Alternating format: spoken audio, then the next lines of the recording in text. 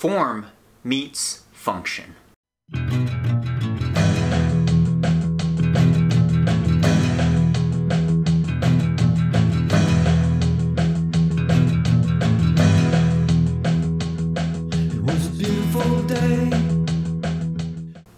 There, Coach Sage Canaday, SageRunning.com here with another training talk. Today we're going to talk about the science of running shoe design. And in scientific fashion, I'm first going to admit to you my biases, biases, as well as experience in uh, running shoes, uh, personal experience, background, but the bias is, of course, I've been sponsored by Hoka One One for over the last six years. I will say though, I've also been sponsored by other shoe companies. Uh, graduating college, I was sponsored by Hanson's Brooks for 2.5 years, running in Brooks running shoes, uh, mainly on the roads, as well as, well, cross country too. Um, at Cornell, it was a Nike sponsored school, so we were running in a lot of track spikes and road racing flats, uh, as well as as well as my first year in Mountain Ultra Trail Running, 2012 to 2013. I was sponsored by Scott Sports, so I do have a history of that. Uh, in middle school, growing up running over 20 years ago, I was running in Asics. I've tried pretty much all brands.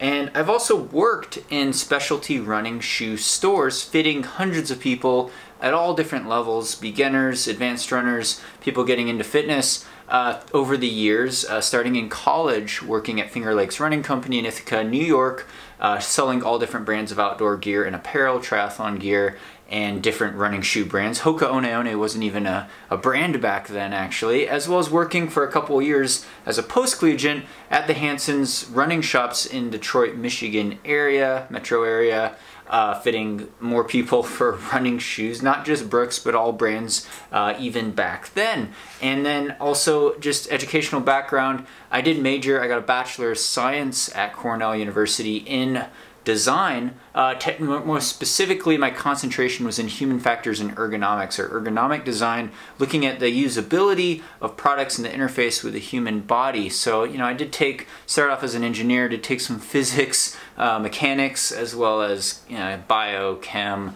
uh, engineering calculus, and then anatomy, uh, looking at different aspects of the physics behind running and running form. And of course on this channel you can see our different running form videos, different shoe review videos. Uh, I did a video a couple years ago I'll link to at the end of this as well as up there on fitting the type of running shoe for your type of foot because it is a bit of an individual thing and technology has changed over the years. And I'll get into some key aspects that I think you should have uh, if you're looking in, in buying a new shoe or trying on new shoes and how it influences your own biomechanics, your own form in terms of comfort and speed, uh, allowing you to run fast and train efficiently, but also to hopefully reduce the risk for injury and so you could get more enjoyment out of the sport. And you know, I'll admit, it's a hard thing to say because it's very different and there are different brands.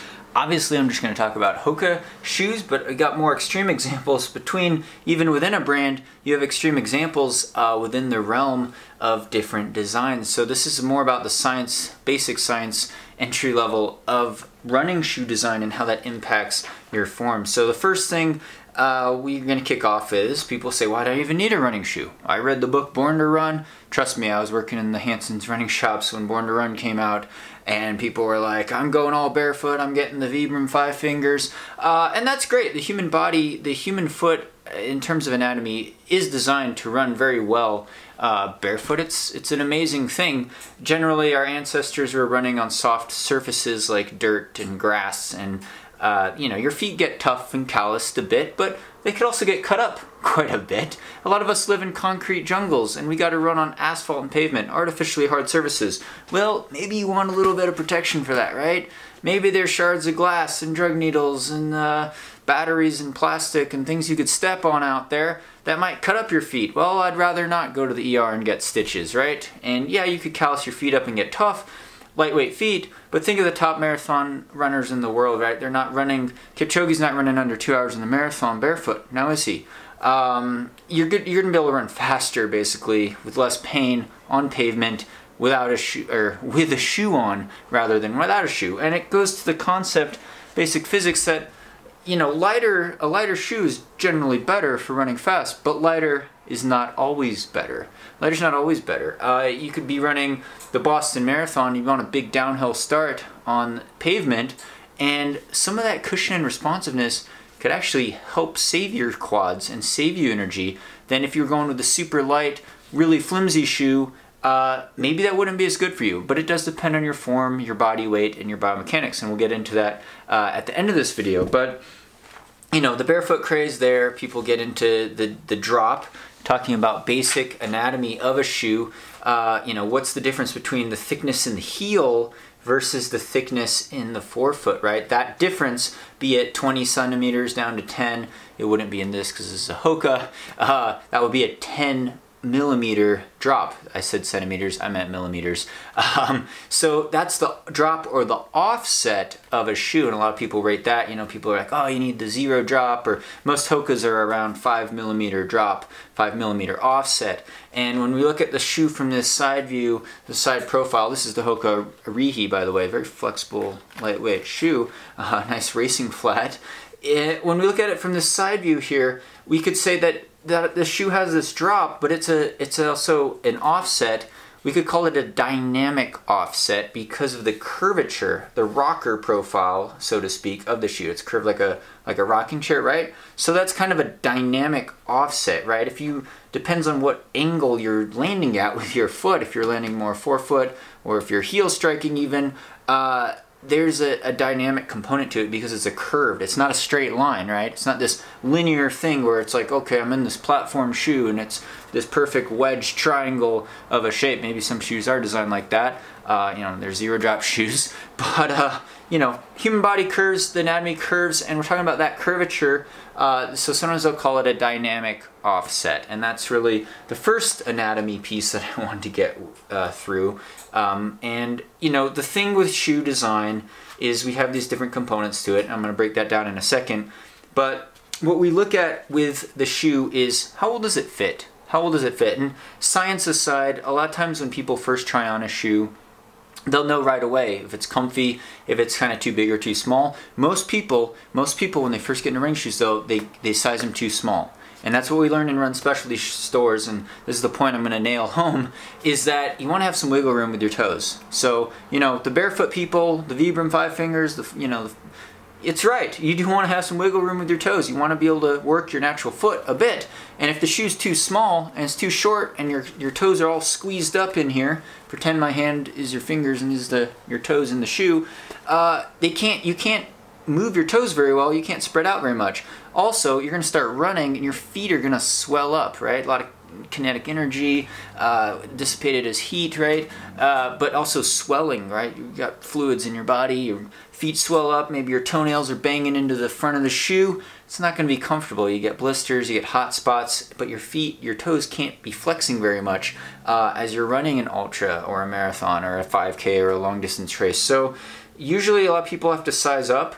Uh, it depends on the brand and it depends on the model, but you don't want your feet banging in the front. You want to have some space, and you don't want them pressing in on the your big toe or your pinky toe, right? You need some wiggle room. So that's the first thing of proper shoe fit, and it depends on the shoe design. Some have more volume than others, uh, and part of that is in this upper part of the shoe. They call it the upper, literally. Uh, you know how flexible it is. Where do the seams line up, right? You're looking at that. But then also in terms of shoe design, we're looking at the geometry of it, the last shape, so to speak. And I'll get out the Rincon here, Hoka One One Rincon.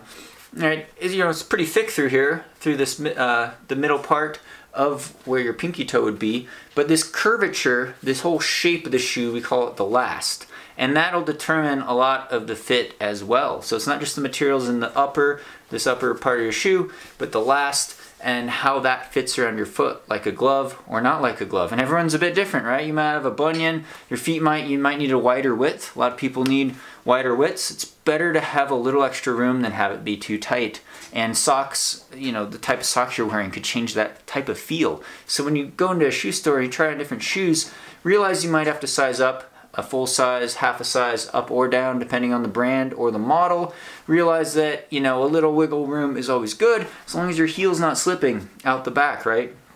Uh, so getting back to the actual science and materials of the design, right? We got the upper, uh, we got the outsole, uh, midsole, and we'll bring up the Torrent 2 here because we got traction, right? We got lugs. Well, that's great for traction. This is the outsole of the shoe, right? Could be uh, some sort of sticky rubber, Vibram outsole, something like that. Uh, that changes the properties of the shoe on impact, right? The feeling of when your foot hits the ground, be it a rock or trail or dirt or pavement, track, uh, that interface it could kind of dampen things, right? Uh, impact force changes the properties of the shoe, changes how it flexes, changes how it feels, right?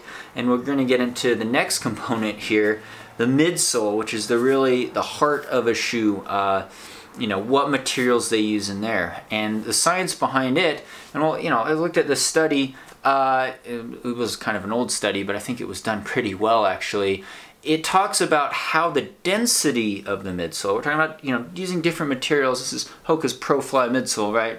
Dynamic changing of, of more firm material versus softer material. And we're looking at materials like an EVA foam, generally being like a soft, cushy, you know, springy feel versus like a, a Hoka R-Mat or some of their more, uh, even like a rubber compound that could be a more dense foam, and they, they call that firm or responsive.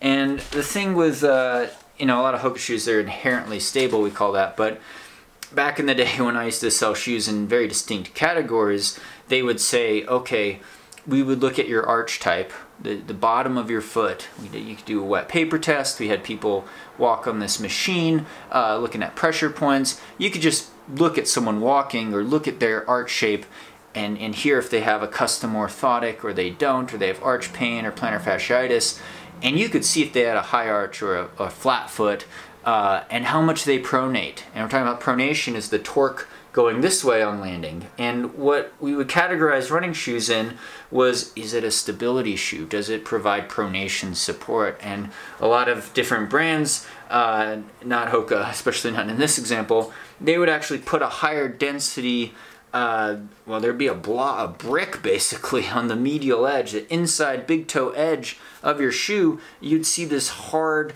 uh, different material. Be, be maybe it's a dark gray material or some sort of stiffer foam, so to speak. Uh, actually, put in a plate or a post, we'd call it, and it would stiffen up that shoe so that when your foot lands and you're rolling in or pronating, again I've done videos on this pronation aspect, I'll link to it in the description below, uh, it would help slow the rate of your pronation. They've done a lot of scientific studies on this. Uh, this one I was checking out and it, it makes a difference. So the density of the materials used in the midsole and the combination of how they're used and the vectors and angles of how they're used, the midsole is really a key component in how it affects your foot action when it hits the ground. The feeling of cushion, the feeling of responsiveness, how much you're, you're springing off, right? We put a carbon fiber shank in here, carbon fiber plate, it's gonna change things up a bit, right? We use a different durometer, the density or the springiness aspect, subjective terms, cushioning, springiness, uh, of the midsole materials. We change that and we might change how you how your foot how your arch collapse how your how much your foot rolls how much of a of a heel strike is going on how quickly you spring off on on your toes on toe off uh, and and the the feeling of the shoe overall right?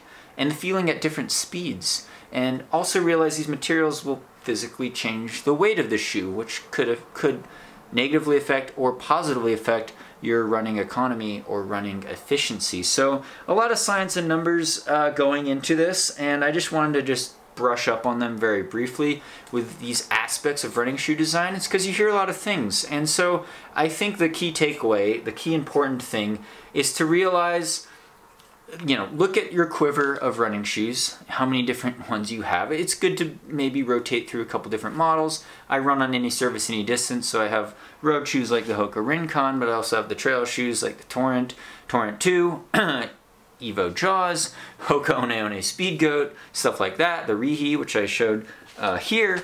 Lighter weight shoes for faster speed work. Maybe on days when you're pounding out the pavement, you want a little more cush feel a little more arch support, stuff like that. Even going up and down a half size, the fit is very critical. The fit is very cr critical because you're working with your body. The physics of your natural anatomy and your natural foot and realize we're all different. uh, but not making sure that shoe's not too small. So you're ordering shoes online, uh, you best to get them fitted in the store. Hopefully have a good return policy uh, so you don't wear them out. You know, try on before you buy, so to speak, uh, to make sure it's a good fit for you. And you know, the comfort level is important, the space, the wiggle room is important, but then the materials and how your foot interacts in them when you start running in them is important because it could either affect your pronation, could affect how your arch feels, could affect uh, your running performance in terms of speed and efficiency. So uh, that's really my, my little spiel here on running shoe design. Feel free to ask questions. Again, I did work in running shoe stores and sold, sold all different brands uh, over the years, uh, as well as have that BS in ergonomic design. Uh, it's kind of a nerdy thing that I like to, to get really into, um, but uh, again, there'll be more training talks on here with physiology and stuff like that. Another nerdy thing I like to get into. Bring the science, bring the physics, bring your A game. Thank you so much for all your support on here. Hope this uh, YouTube video finds you well. Again, check out those videos I referenced below, picking the right type of running shoe for your foot and running form. Uh, thanks so much for all your support. Thanks to Patreon supporters for really making this channel possible. Title sponsor, Hoka One One, keeping the dream alive. Hope you're doing well, and stay tuned for more.